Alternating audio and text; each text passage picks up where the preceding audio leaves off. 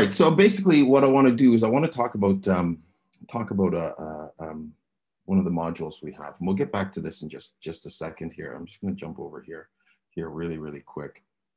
And uh, as far as interruptions and things like that, yeah, please by all means do interrupt. And if I find that we're going off topic, don't take offense, but I'll, I might bring us back back a little bit as well. Um, so I, I, want we we uh, we build uh, a lot of applications and we consult with a lot of uh, a lot of developers, some of them on, on, on the channel here. And the common challenge, and we have this in our own products, is um, is how to handle the concept of of what people are allowed to do.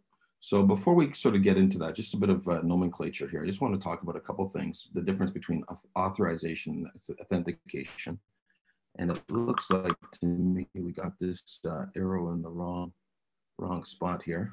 There we go. All right, so basically uh, authentication is, we actually have these uh, authentication, yeah, author, sorry, my mistake. We had it right, there we go. All right, so authorization is basically proving who you are. I think everybody knows that already for the most part. It's logging in, it's, it's uh, identif identifying. it's not always just about logging in. Sometimes it's a smart token that you might send in an email to somebody that takes them into the application or whatever. Uh, the concepts I'm going to be talking about today are not just about web apps, although I will be talking a little bit more web app centric for, for uh, just because that's, uh, that's what we tend to build a lot of. But this is 100% applicable as pure FileMaker. Um, and then there's authentication. Authentication is what the user is allowed to do, and that's where things get kind of tricky. Um, so let's look at a couple of typical stories here. So your app has a different uh, has different users, like every app and the users are allowed to do different things. So normally what we do is we set up some type of uh, privileges in FileMaker. And if you've ever got into deep level of the privileges, it can be really, really um, challenging. It's easy enough to set up user privilege uh, user groups in FileMaker, but it's when you get into the table level and the field and record level access, that's when it comes uh, pretty, you're, you're pretty deep in the weeds and it's really, really uh, can be a real challenge. Right. Uh, sometimes uh, we have a, a, use case where we have um, a group of users, and then we need to give a specific user um, some overrides here. Sorry about that. My uh, let me just actually if I I can just do this here. And then the other case is we have third-party applications. So we have our main FileMaker database as a source of information, right? That's our that's our source of truth. But then we want to extend that into maybe another third-party web app. Maybe you have some web app that's built in another platform. Um, maybe it's a whole other enterprise system that, that you need to extend those privileges into. Um, so we want to, we don't have to replicate those privileges across and, and reproduce those, those, uh, those sets. Sure, we can uh, uh, bring the groups over maybe with some kind of shared authentication system, but that doesn't really bring over what the individual, individual privileges that a given user or uh, group of users or organization for that matter um, can do. Uh, vertical applications are, are, really big. We actually have about 25% of our clients have verticals, which is a really, really high number of applications. And verticals are a special challenge because when you have a vertical, not only do you have users, privileges, but you also have um, organizations. And then from a customer support aspect, if you're managing a multi-tenant uh, organization, you need to sometimes give overrides to a specific customer, right? Or maybe it's a specific, specific user within that customer, or maybe it's a user that can jump around between the customers and things like that. So it can be, again, it can be kind of messy. Um, if you guys have different techniques for how you manage this, I'd like to, like to hear about that later on. I'll show you what we, we do. And I think it's a very, very simple, simple, uh, simple system. So just a quick bit about, bit of information uh, about me yeah, I have kids. Yeah, I have hobbies. Uh, sometimes I have pets, and that's about it. I'm the founder of Delfs Engineering and FM Better Forms, as you may or may not know. and we'll go on to that. Don't want to spend too much time on that stuff because you probably don't really care too much. Okay, so we have um, we have a very simple module. It's not even really a module. Uh, Ham is actually, in all honesty, it's a, it's a concept. It's really, really more of a concept of how to do something rather than rather than a module as such. Uh, we called it ham because we just wanted a catchy, catchy name and we use it for uh, our applications and it's open source. Here's the GitHub link here. I'm gonna paste that later on somewhere so that you can have access to it, but it's easy enough to find as well.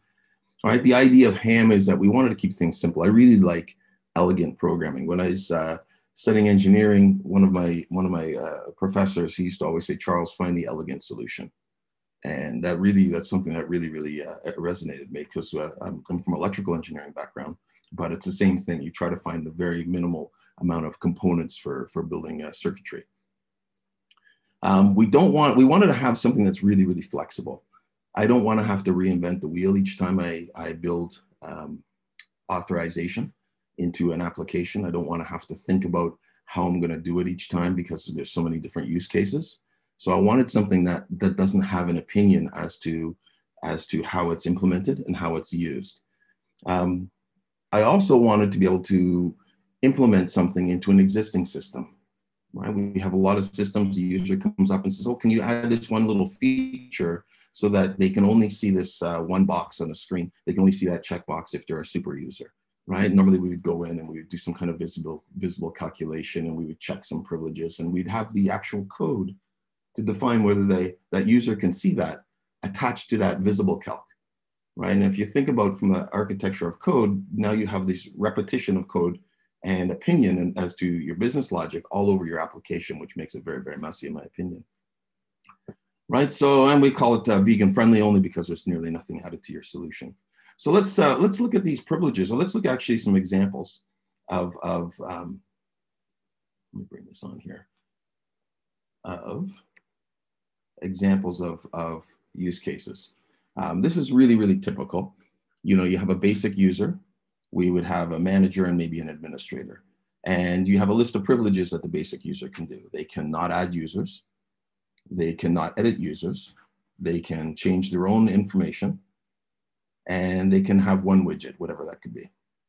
Then we have a manager and the manager, of course, they can, they can do a little bit more, they have more privileges. So they can uh, uh, edit users, they can add users, they can have three widgets and they can uh, do anything a basic user can. And this is really, really key, right? So what we've done here, and if you think about the privileges, we've said a manager can do something that this person can't, but we've explicitly said this person can't do it. So we've inherited some of the use cases out of here, right? In this case, we've written them down twice, but so it's not really an inheritance, but we, we have replicated some of those same features. Administrator can do other things. Maybe they can um, add and create, add and delete records, but maybe they're not allowed to edit the data within that record, which sounds really odd, but it, it actually does make sort of sense. If, if a developer might be able to add and delete records, but you don't want them maybe editing something like that. They can do also, they can do anything a super, uh, supervisor can. Um, when we developed this, uh, one of the uh, one of our team, we were uh, he he was uh, at the time working working at a university, so we sort of used the university uh, school um, paradigm where you have a bunch of people and a teacher is allowed to have a key that goes into their classroom. A teacher is allowed to have a key that goes into the staff room. The dean of the school is allowed to go into any classroom, but they can also go into their office. And the dean can also unlock unlock their their uh, file cabinet, their their, their uh, desk within their within their office. But the teacher can't do those kinds of things. But then you have these weird edge case scenarios where you have a custodian or the janitor. They actually have a key to everybody's everybody's office because they have to be able to go and empty the trash. But they don't have a key to one very important thing, which is the, the, the dean's desk. They wouldn't have a, a key to that. So that's a very weird edge case when it comes down to coding permissions. Does that sort of that kind of concept where you we run into those kind of problems? Does that make sense to everybody? I'll take that as a yes. All right. So, um, so if we were to distill this information here, and we were to distill this into a set of Boolean logic, basically, or a truth table, if you will, or even just, if you look at this, it's actually kind of shaped like a JSON object. We have some keys here, and we have some privileges. So if we were to, to take that exact same example, let's distill this down just a little bit. And now I have a JSON object that defines my privileges. Right, I have a basic user, I have a manager, and I have an admin. And then in my basic user, I have some set settings, add user false, edit users false, edit own details. That's uh, to be able to change their own, say, preferences or something. Uh, true, uh, widgets allowed one. Now in my manager, what I've done here is I've said my manager can inherit what? What can they inherit? This is an array, so that means they can inherit more than one thing. And in this case, they only have one example, but the, the manager would be able to inherit the basic user. Now, if you have an organization where you have maybe an, an east uh, branch and a left branch, and maybe the managers uh, drive between the two branches and they can access privileges on both sides, they might have an East Coast object here, a West Coast object, and the manager would inherit the East and the West because they may be very, very different types of uh, uh, types of services and privileges and things like that. So this is where the non-opinion comes in in terms of design or architecture of, of, of privileges. And guys, if you're, if you're, if I've, if something's not making sense, by all means, just, just, just hit the space bar and, and chime in, please. Okay, so now we've got these, these basically, I don't want to call them cascading, but in a way from the top down, they are cascading or inherited privilege sets. But then we have a certain use case where I could be a manager, but I also, and this is like the janitor example, I am I'm a manager, but I have to fill in for somebody for the evening or for the weekend because uh, they're away on vacation. So I need an extra privilege. I need to be able to modify a certain record or a certain field or something in, in there. But I want to give that one person, because only me, because I'm, I'm filling in for another manager, I need to give them an override. Or maybe, for example, the basic user um, is there and the manager goes on vacation, but we need to give them the ability to edit users while I'm gone. So I need to take one person here that's in this group and give them an override for only a brief amount of time. So that becomes a real programming challenge if you're doing it conventionally with conventional, you know, hide objects and things like that in FileMaker. So here's how we here's how we can sort of look at that. If we take this object and we really treat every item in this object as a as a, uh, a flat boolean or a flat number, or it could be some other kind of thing that's in here, a sum, for example. And we flatten this object, we get something that sort of looks like this. I just did this quick on, on, uh, on my design here, so it, it, may, I might have missed a field or something. But basically we have, for a given user, we have add users, false, edit users, false, and so on.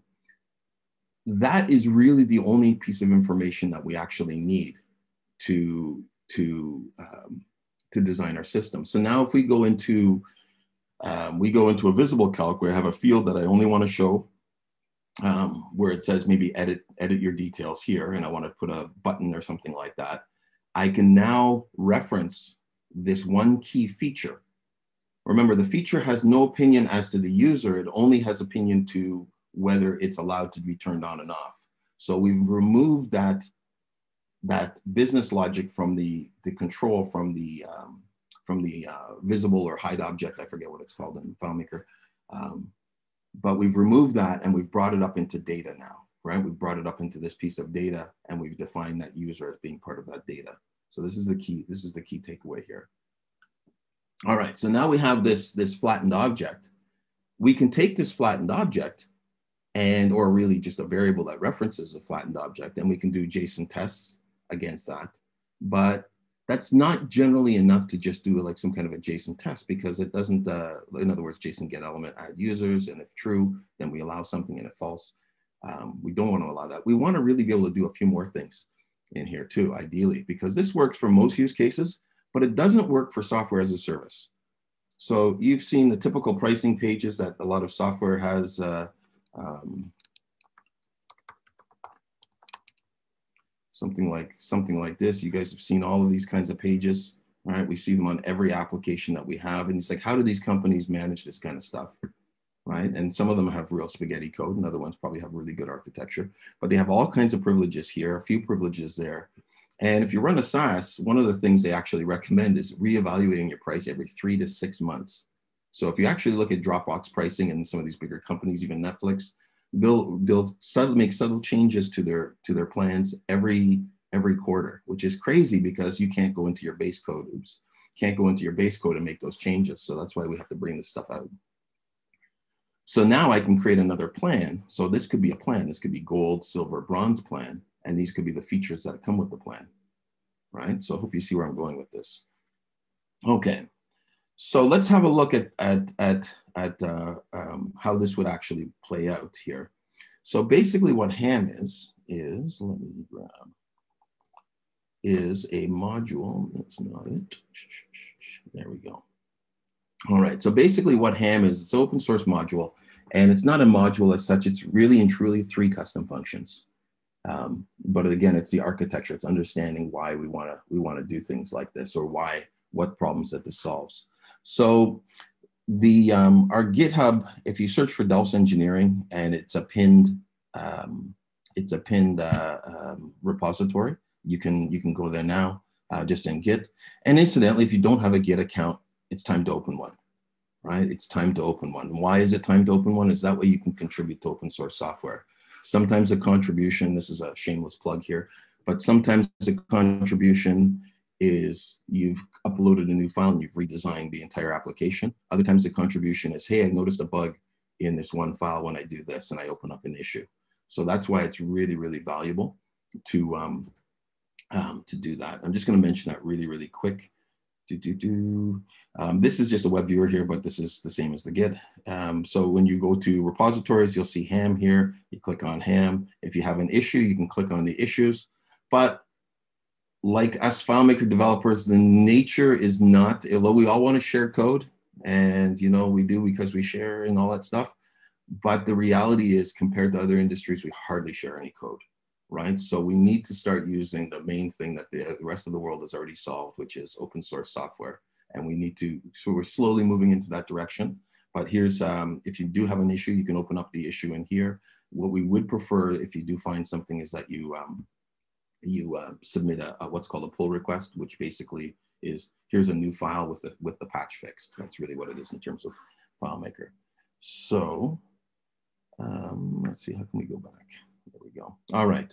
So basically what ham is, is a set of functions. So let's, um, they're really just three custom functions. And I really thought about what's the easy way to explain this. And it's a little, I think it's a little tricky. So uh, I may not be in the, in the best logical order, right? So ham is a, a, three, a set of three basic custom functions. One of them, what it does is it's going to start to flatten out that object, right? The first, the very first thing it does is it takes your set of privileges and it flattens it out into, um, or it, it calculates it out, I should say, and it flattens it out for that particular user. So if I say I am a manager, I should get, I should yield this set of results and including these inheritances. And these inheritances can go down and deeper and deeper and deeper. They can be, they're recursive. Right, if I'm a manager or sorry, I'm admin, I should get a different set of results. So that's the first thing that it does. Then the second function is for checking privileges. So let's look at a real world application and how we use ham, and then we'll uh, we'll we'll get in a little deeper from there. Okay, do, do, do, do. Let's see. I think I have something open already. Okay, all right. So this is a client that we have a web application for, and let me pull up the FileMaker FileMaker file for this in the background.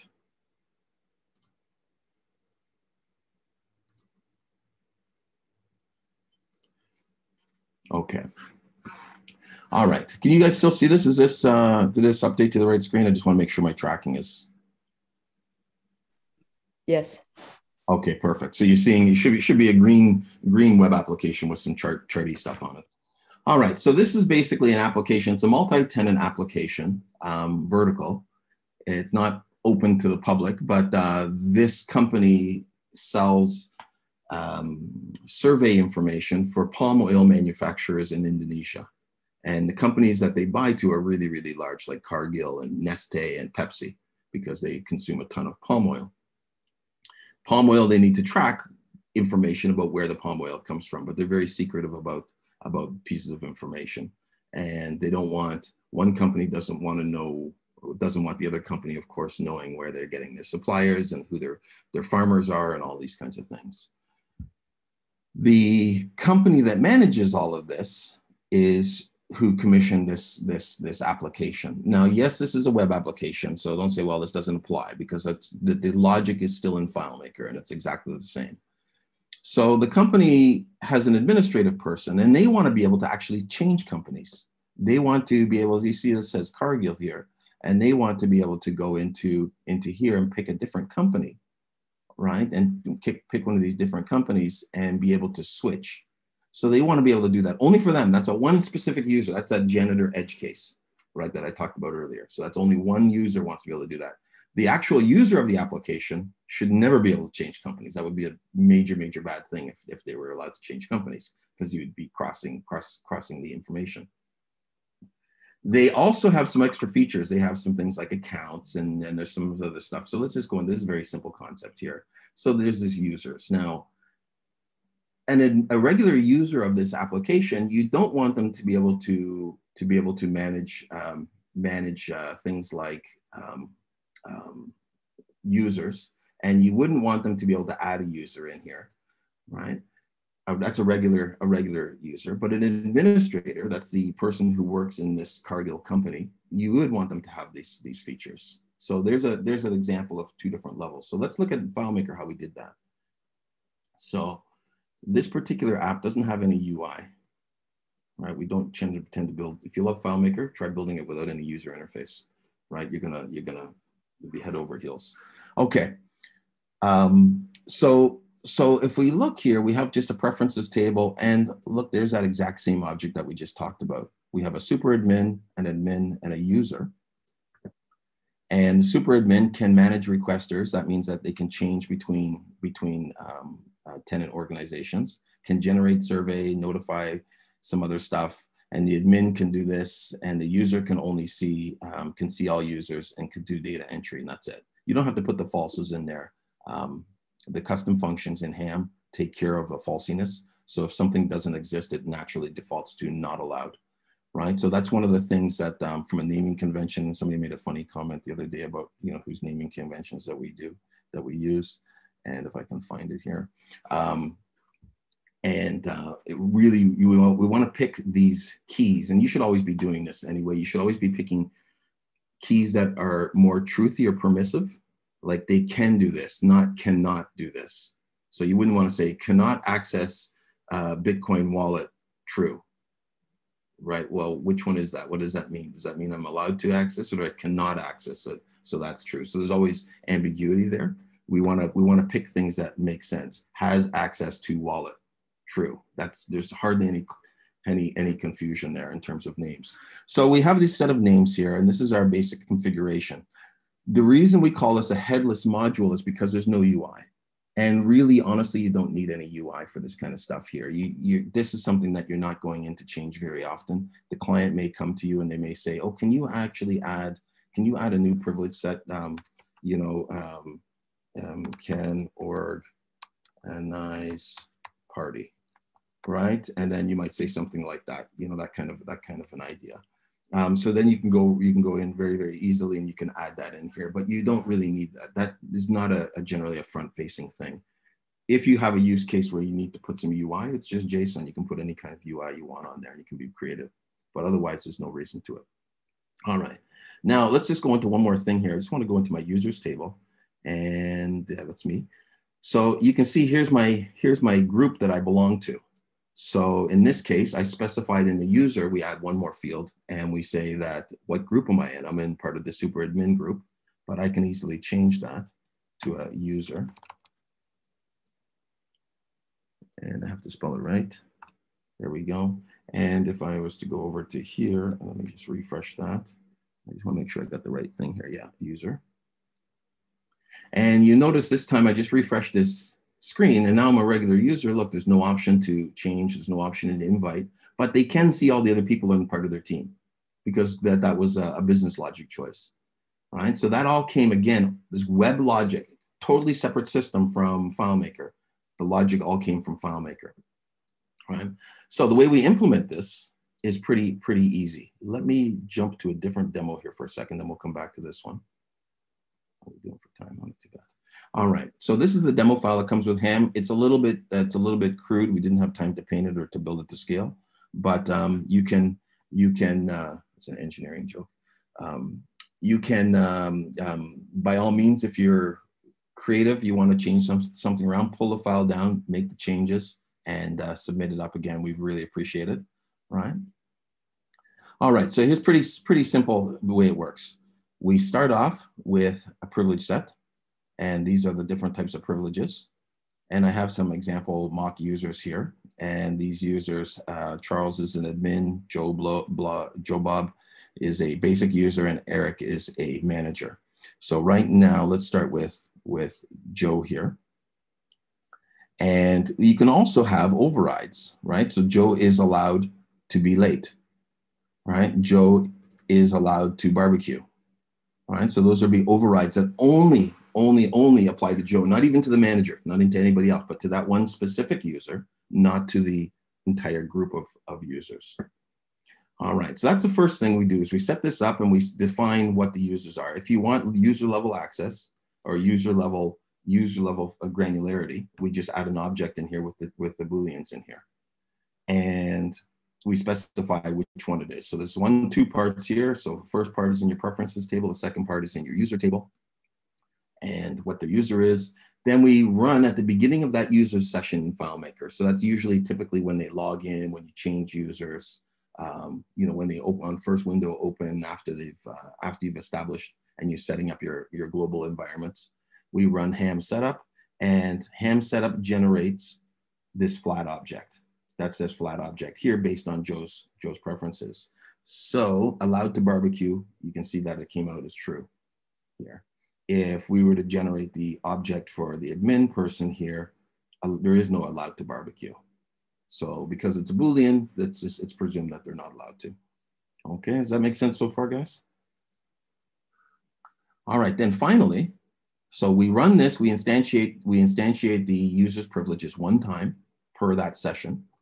And then finally, we can run tests against it. So this is a third custom function. This is a this is a second. Sorry, this is the first one. This is the second one. The third one is just a utility function that has more of the code because there's a bunch of code in here. And this final one, we, we take any particular user like add users. So if I want to check this, add users, and if I run a quick test, ham check and comes up V1. So in FileMaker now, if we were to do ham check privilege add user and do a visibility calculation on that, that particular field would show up, right? If I change this and add some extra stuff in here, uh, let's see, It throws an error and it's basically saying it's an invalid privilege name. Ham has debugging for you built into it um, as well. I forgot about that. Um, so this saying is that you've called a privilege set that doesn't that doesn't uh, come up. Now, how are we going to see this error when this privilege set is attached to a um, hide object when or conditional visibility? It's going to be very hard to see. So it actually surfaces in the um, it actually surfaces in the global variables space and you can see ham last error. So the ham, the error actually surfaces out for you. Right, ham uses global and then before you jump globals um, for, for consistency across your, your application. Now, what's nice is here is I, I, just mentioned two things. Okay, so first of all, you say, oh, uses globals. I heard you can hack globals. Absolutely, you can. So we've also built in the ability to um, to encrypt the global ham object settings so you can't hack them. Okay, you can look at the code of how that works, and it's also documented in the um, in the GitHub repo as well. If you're worried about somebody hacking that, um, it is a custom function. If they have the ability to hack the custom function, they've they're already totally invaded your system anyway. Okay, one other thing here as well is since the ham privilege, the the setup is, or ham config here since this is strictly just a global object or an object, a variable, you can pass that into other areas of your code base. So if you have a multi-file solution, you still have ham only in one place. You just have to pass this one object into that other, into that, those other files uh, when, before you run the code. Uh, a couple other things here. There's a couple other things that get instantiated as well. Um, some of this stuff is really just for this uh, for this demo, so you can take you can take this apart and see. And there's a few other really neat features that are built in here, but let's, let's jump back to this other application here. And let's look at how this worked.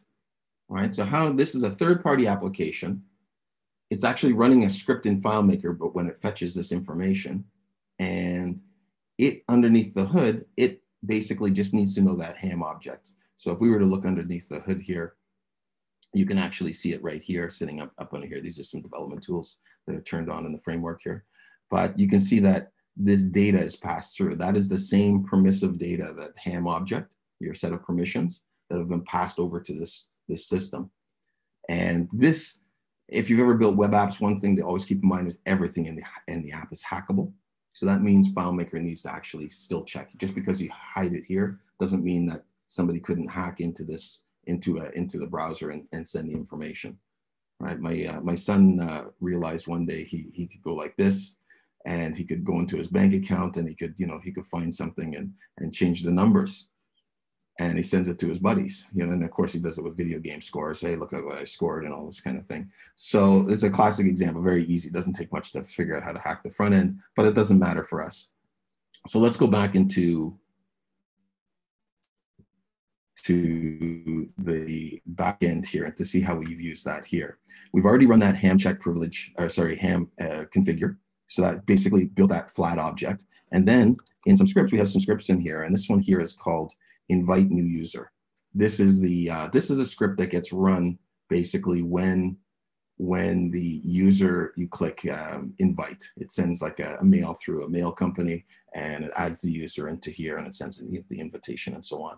We want to make sure that you're not allowed to hack that and the reason that's important is it's, again, this is a multi-tenant public facing application. So you have to think about security when you're building stuff that's more public. You have to think about that a lot more than you do within the confines of your employees, right? And employees you can assume to be truthy or faithful, trustworthy.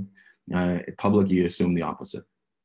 All right, so it's pretty simple. It's literally one line of code in here, right? Uh, we use a single loop error trapping. I think somebody's talking about error trapping. Uh, they're probably gonna look at that concept I'm sure. Um, so this is a single loop error trap, and it basically says ham exit loop if. And then if we look at this here, let me do this here. Come on, baby. There we go. There we are. Okay. I can tell how often I use this machine here. All right. So if we look at this, the, you can just ignore this. This is just a placeholder in case we want to add some more information without changing the function too much in the future. So it's basically saying if not ham check privilege can manage users, right? So I check the privilege can manage users. And if, if it's falsy, which is true, um, then we're just uh, sending, we're returning, we're setting a global variable that, that, that will show an alert. That this doesn't really matter. This is whatever you, however you want to handle this in your own code. This is from a scripting aspect. Um, doesn't really matter. In BetterForms, it's it, to, to show an alert. It's just uh, uh, adding a, a custom function that's basically with some parameters. So that's just setting an alert and it's exiting the script. And that's all we need to be super secure because the user can't be spoofed. We know who the user is. They've logged into FileMaker or they've logged into the third-party system. We're assuming the authentication, um, um, the authorization, sorry, section, authentication section is solid.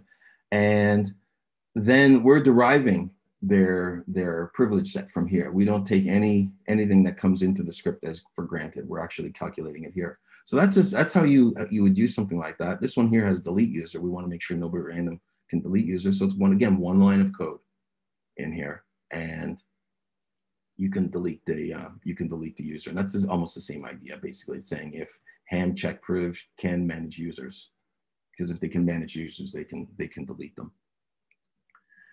Ham can be used in a whole bunch of places. You can use it right down to record level access because it's a custom function, right? So it's a, just a reference. And whenever that gets evaluated, it's going to check the information. Um, you can you can see how, how it works in, in a little bit more detail. I want to mention one more thing before we just take some questions. Do, do, do. Let's go back over to here. And um, there's a couple other things that Ham can do as well. When you have a, um, we use this for some vertical applications and in verticals quite often the different tiers you know gold silver bronze have different volumes of items. The gold one has one widget the silver has i guess so the gold has three widgets the silver has two widgets and the bronze or whatever it would have one widget. So how do you handle things like add-ons? I want to add on something. I want to give one user extra widgets right? That's really, really challenged. Normally you'd probably go and you'd say the extra widgets and you create some fields and all kinds of garbage like this in your system just to handle that one, one weird edge case. But with Ham, it's really easy. All you have to do is you say widgets allowed, but you don't just say widgets allowed like this. You say widgets allowed underscore sum, right? S-U-M, not S-O-M-E, S-U-M, like summation. And what, what that will do is Ham smart enough that it'll go through and when you inherit from here, it'll take these widgets quantity and summarize them into this one. So instead of having three widgets, you'd have uh, four widgets for this particular user, right? So it be it basically you can do some basic math like that. You can also do some other things as well. Let's say you had a, a weird edge case, and this did come up, that maybe on a Tuesday, the user is allowed to do something, but they're never allowed to any any other day, right? How the heck do you define that and not have to change it in a million spots in your system? Again, it's global here. You can put ham underscore exec execute and or no eval sorry my mistake and it'll evaluate the parameter that you passed in. So you can say day of week equals tuesday and then ham will only be be truthiness on that particular tuesday. So there's a ton of flexibility there. You don't have to inherit things if you don't want. You can keep them all flat. I personally like that kind of inherited type structure but it doesn't make any difference. It has no opinion again and uh, there's a few other little things in here, I think, as well. Our documentation is okay, but uh, we welcome to welcome uh, contributors. We've had a couple contributors so far, but we welcome more, please, by all means. Um, there is some stuff about the encryption and things like that. If that's a concern that you're sending out this uh, uh, file to somebody else, or you know they have more access to it, they can somehow read globals or whatever they can do. Um, and I think that is Ham more or less in a uh, in a in a in a nutshell. Does that make sense to you guys at all? How it works? Yep, that makes perfect sense. And uh, to answer your initial uh, question, Charles, uh, yeah, I've done something uh, similar, but much more extensive. Um, so the implementation was similar to yours. Uh, I didn't think of the inherit thing. That's a very nice idea. I hope I had this idea uh, earlier. But what I did was uh, I separated the whole uh, database into modules. So I grouped tables into modules and uh, using the execute SQL uh, to query virtual schema, the tables automatically populate and then someone needs to assign them into a module. And uh, instead of uh, you're using something like attributes. Can uh, that user view something? Uh, in my implementation, that was just purely an example. I mean, it can be yeah. anything. I, that's two. Those yeah. the most common thing is hiding things on your display, and prevent permitting scripts to or conditionally running scripts. Those are the most yeah. common. For my use case, it, the requirement was to generally uh, handle everything. So I used the CRUD method so for every module, there is a create, update, read, delete, mm-hmm. because there were there are users that they can uh, view records, but they cannot edit them. And there was a very uh, specific requirement that for some tables, users could not delete records, but if they uh, created that record in the last hour, they could delete it. So right, so that's a great example, and this is where you could use Ham super easy as well. Exactly, we do the same thing we do that. We we build. We don't even we don't touch any records. We have one script only in the entire system. Um, generally, when we code something, this is this is there's a little bit of cruft in here, but this is the app that build that runs that web application plus another application on top of it. And we do the same thing. We use like a, a selector basically for the uh, creating and for the deleting. And then you can throw ham at the beginning of that script and check the user that particular user's privileges. You can check other things like that is exactly the same.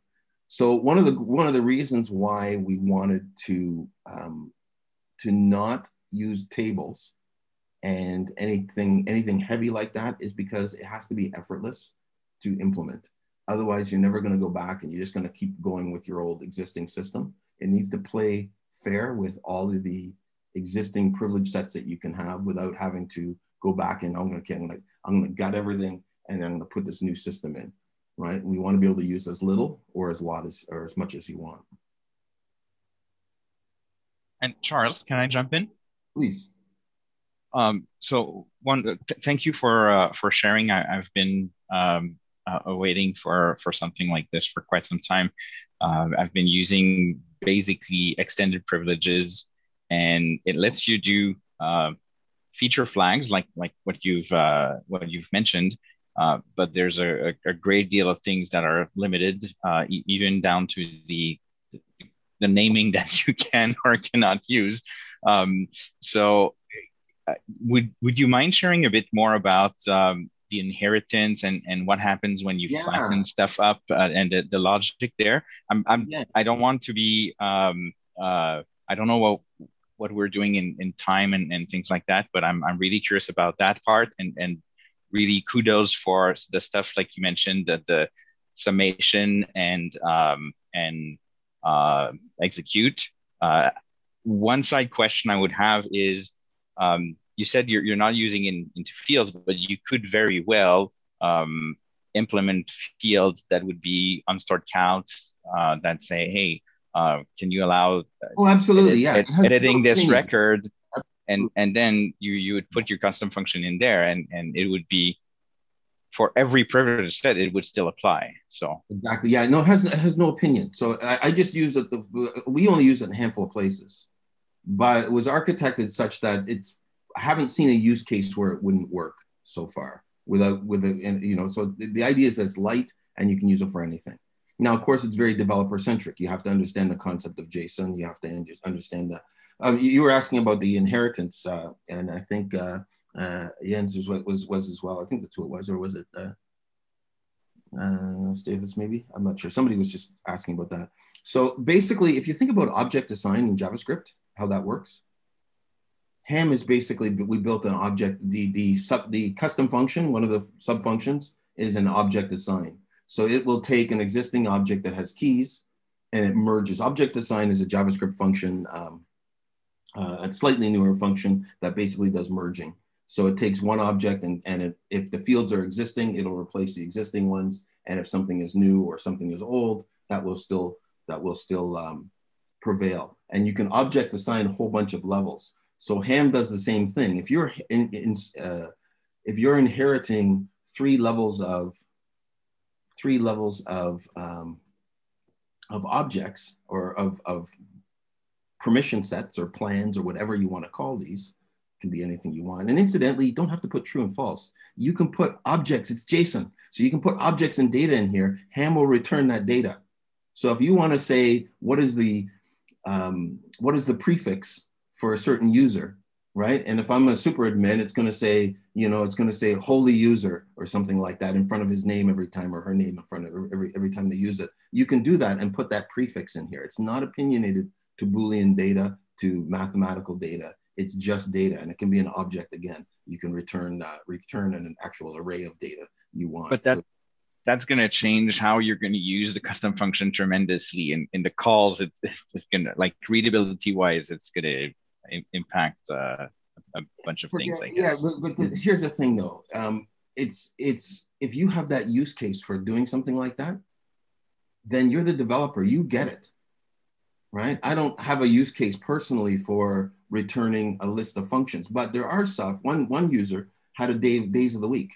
And what days of the week is this person allowed to log in on?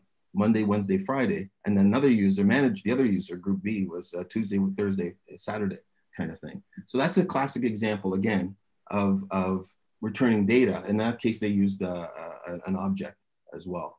So that's how the inheritance works. It's basically, it's an object assign, but it also runs through and it looks for these underscore calculations sorry, not calculations, but underscore eval and underscore sum so that it can, can carry up those numbers up to the, uh, to the higher level. Hey, Charles? Yes. Uh, is this only for uh, FileMaker authentication or can it be used? Yeah. you know um, what I'm getting at. Technically. Um, I was, even I get, I get those I always trip on the both of those two, but the authorization versus authentication. Um, so the we use it for well, we, it's FileMaker derived. So in other words, the source of truth comes from FileMaker, but we can take that derived object, which is the we'll call it the permissions, and we can pass that into any other system. And then, then like if you have a somebody who's building some front end in a different language, you say, here is the object. All they have to do is query FileMaker, return that object, and now the privileges, deep levels of privileges, and, and all the, the, the flexibility comes from FileMaker, but the other developer can easily implement it because it's just Boolean stuff in, in, in a lot in an object. I was referring more to um, Active Directory, Open Directory. Yeah, that's see, see that's that's a funny thing. That that's a little different, right? So you're really talking about user groups, but this is really dealing with what does a specific group, or more importantly, what is a specific user or a specific tag in the group or anything like that. What do they have the ability to do? Right? And the, and the real flexibility here is just about about the um, overrides. You know, you can override a specific client, right. a specific user, or a specific person, or anything you want. Again, no opinion.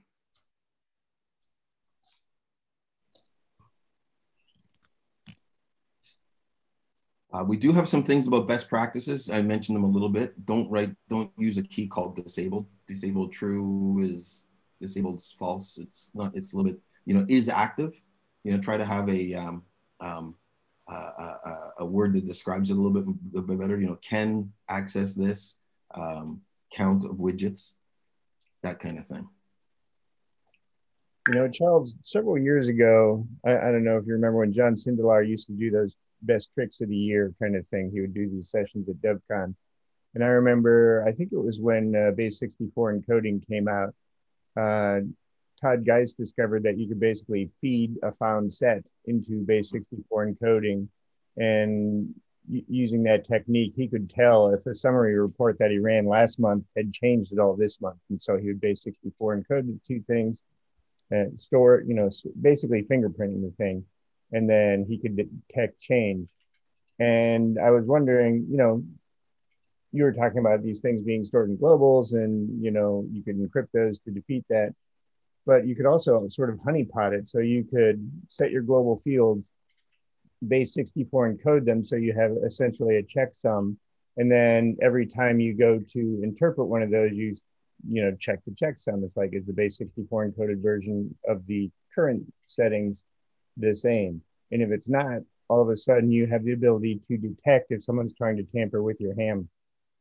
Yeah, that's really interesting. Um, I wouldn't even know if you need to change anything for that because you could check that information. Um, like where, where we use ham ourselves, like we used it for our clients, but where we use it ourselves because we do a lot of dog fooding, like our product is based out of our product, or built out of our product. And um, where we use it ourselves is actually for for uh, uh, user permissions, like how many how many um, items widgets are you allowed to have for from a um, roles. And then quite often, you know, a, a, a, given dev, you know, asks, hey, can you do this? And they have a very edge case and we need to do, we just create a quick override. I think, um, so what we, what I was going with this is we actually, during the configuration, we kind of turn ham sideways. It's kind of hard to explain, but we, we kind of use it slightly differently um, and inherit these, these plans. And I guess you could take that whole thing and you could summarize it as well.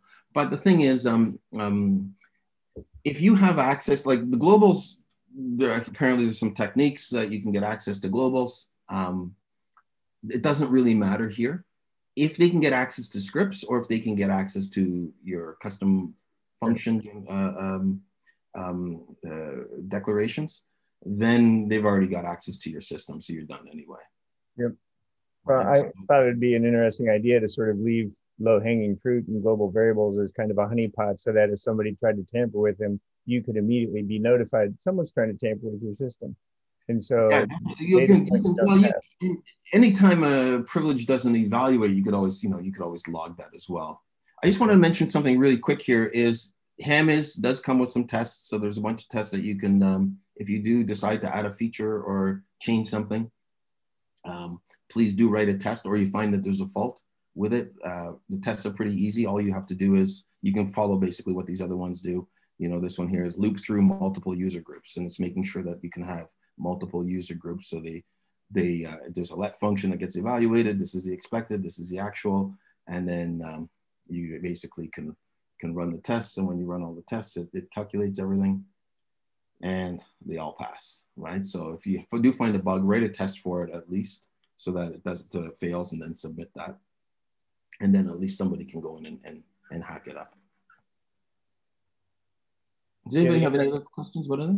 I was going to make the comment that the interesting thing about the FileMaker community is it's almost like a, a, a closed terrarium, you know? Anyone with sufficient expertise to hack this, you probably know them. And so yeah. possible uh, antagonist is a, a, narrowed down one. You know, there's a lot of there's a lot of devs though. Like I work with so many devs, and there's so many that we we never met. Like there there's a ton of and they're really excellent. And they just they're not in the they're not in the loop. Like you know we've all seen each other's faces heard each other's names and things like that here for the most part. But there's ones that you've never heard of and it's like wow that's really good. Like this guy's really good or this this woman's really really good you know? Just you just never hear about them. Because they're not they're not in the they're not in the forums or they're lurking out there okay well that's uh i hope that uh i hope you guys can find some use out of it and please, by all means, uh, I'd love to see this this contributors uh, thing kind of grow here, um, other than just the three. but uh, we haven't really promoted this as the first. Uh, we've had this for a few years, and honestly, since we wrote it, we haven't had to change. We changed one thing once um, a few years back, and we haven't had to change anything else because it's been flexible enough. Um, but um, I'm sure the more people that we expose it to, and the more people can get some use out of it, then uh, um, um, you know, we'll find some some more issues perhaps. Yeah, sort of circling back to your point about getting notified if there's an empty value where there should be a value. Uh, also be interesting to tie this into like a Zabbix notification system so you could get an alert like, hey, something's wrong with your configuration over there. Yeah, you can, um, we can definitely say if a user has tried to run a process like that delete, for example, delete user. If a user has tried to run the delete user script and they don't have privileges, there's two faults. There's there's or two things going on. One is they shouldn't have been able to run that script in the first place. And then two, why is a user who's not allowed to running it running it there? So one is probably some kind of thing on the front end or some kind of hacking going on. So you can definitely alert a flag at that point. You can say, uh, "We know who you are," kind of thing. Um, you're you're definitely hacking, especially when it's an open open front end.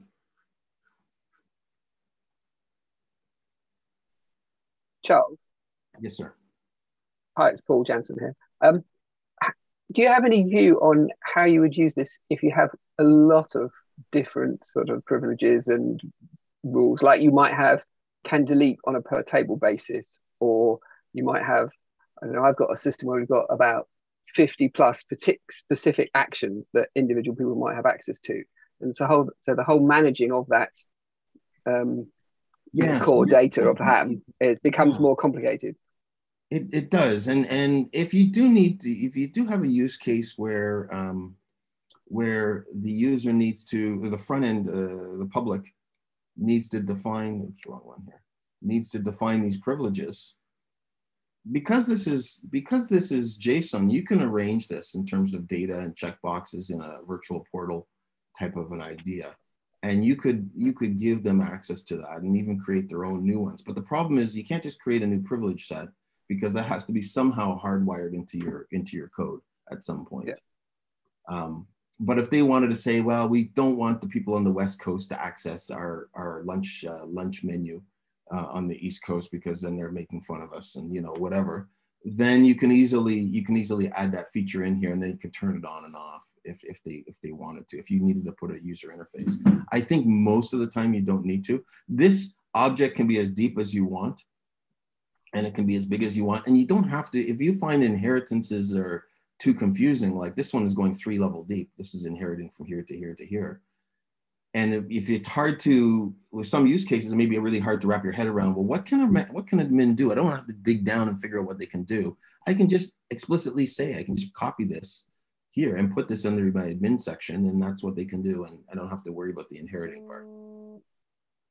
We use the inheritances because if we change if we had a new feature so we had a new feature in BetterForms for example and we want to make that available only to certain plans we can go back into old plans we just add that one key in there and now it's available to everybody who's subscribed to that plan and everybody who's every plan that's derived from that. So for example, DevCon comes along and we have a promotion, right? We create a brand new plan for that, but that promotion might have some caveats, right? But for the most part, it inherits an existing plan and then it augments it from there. So there's a really, there's a lot of weird edge cases that you could, you can use that for.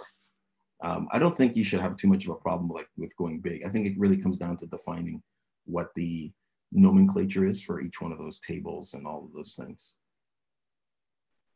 Yeah, and, and when you flatten things up, um, like inheritance, at, at that point, there's no more inheritance. So if you're curious or if you have trouble wrapping your head around, hey, um, what can someone do? You know, you just you just run the function for whatever uh, group they're in, uh, plus plus any overwrites. Um, were there any cases where, um, like for instance, you, you gave an example where there was East Coast and West Coast, let's just say those two and, and then something inheriting both of them but if if could there be things that are conflicting um, east coast and west coast yeah, and really then, and, question Robert. Great question so what happens if if east coast is allowed to um, to do process a and west coast is allowed to do process b or process a sorry east coast is allowed one widget west coast is allowed two widgets and I inherit both of them because I'm a manager and I work on. So how many widgets should I have? So we have to decide: do I normally sum widgets in those case? And this case, it's not because we don't have the sum on on here. So it goes basically on the order of of that you specify. So right here it says inherit basic user, but if I put this, remember this is a JSON this JSON array, right? And I put in I put West Coast. So the last one wins. The last one wins. Yeah, it goes in that okay. order. Right, as you'd expect an object assigned to to to work in in that order as well. Very good. Thank you. Yeah, you're welcome. Where do okay. you? That's all I got. Are all these things instantiated? That's all I got. Oh, pardon me. Do sorry. all these things instantiate at startup? Oh, pardon me. Sorry. You would do that whenever you switch. Do user. all these start instantiate? You would do that whenever you switch user. Okay, but what about when a user is logged in and you know the time base happens, and how do you kick them out of that privilege set? Uh, what do you run constantly to right, evaluate? Right. So, so, because it's a custom function, depending where you stick it in, it's going to get evaluated at different times, right? It might get it evaluated once on layout load if it's a if it's a visible calc, some kind of weird dependency evaluation execution tree that FileMaker has, or if it's a script, of course, then it's program programmatic evaluation. So you're explicitly saying do this workflow, and that's when it would get evaluated.